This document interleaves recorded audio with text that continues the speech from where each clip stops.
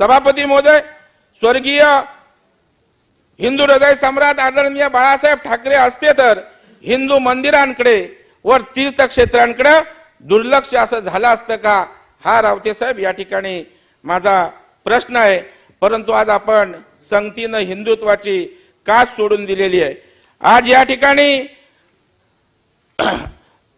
अभिभाषणात व अर्थसंकल्पामध्ये प्राचीन मंदिराचे संवर्धन करण्यात येईल अशा प्रकारचा उल्लेख केला होता. या घोषणेवरून शिवसेनेनं महाविकास आघाडीत राहून हिंदुत्वाचा अजेंडा राबवत असल्याचे वाटत होते. परंतु आज दोन वर्षानंतर या घोषणेच्या अंमलबजावणीची परिस्थिती काय याचं उत्तर रावते साहेब या ठिकाणी द्यावं लागेल.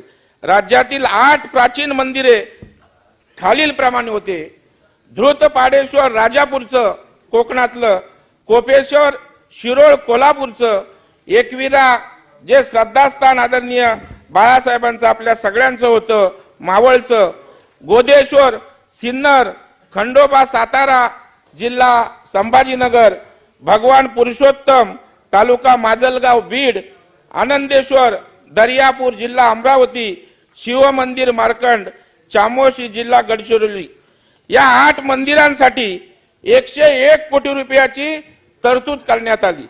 परंतु आतापर्यंत या सरकारनं एक नवा रुपया या ठिकाणी यासाठी खर्च केलेला नाही.